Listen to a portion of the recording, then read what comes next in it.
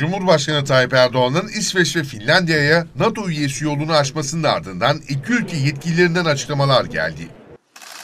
İsveç'in Türkiye ile muhtıra imzalaması ülke kamuoyunda tepkilere neden oldu. Eleştiriler üzerine İsveç gazetesi Aftonbladet'e açıklama yapan İsveç Dışişleri Bakanı Ann Linde, terör faaliyeti olduğu yönünde delil olmadıkça hiçbir iadeye razı olmayacağız dedi. Linde, İsveç radyosuna yaptığı açıklamada da insanların sahip olduğu demokratik hakları değiştirmeyeceğiz ama terör faaliyetlerinin farklı kısımlarını suça konu etmede belirgin sertleşmelere gidilecek ifadelerini kullandı. Linde, İsveç'in teröristlerin sığındığı bir ülke olmaması gerektiğini söyledi.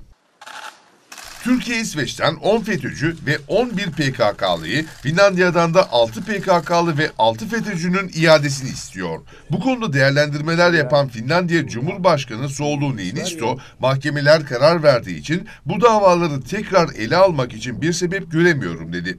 Finlandiya Cumhurbaşkanı ne FETÖ'yü ne de YPG'yi terör örgütü olarak gördüklerini söyledi. Türkiye suçlu iadesi politikamız değişmedi. Bizim terörist olduğuna karar vermediğimiz kimse iade edilmeyecek. YPG ve FETÖ terörist olarak tanımlanmıyor. Metinde bu yok. Biz Finlandiya olarak YPG'ye ve kontrol ettiği bölgelere insani yardım yapmaya devam edeceğiz.